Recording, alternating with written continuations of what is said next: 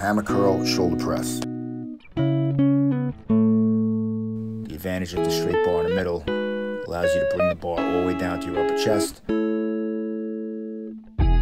as the bar contours around your legs at the bottom of the bicep curl, giving you a full extension of the biceps and maximum range.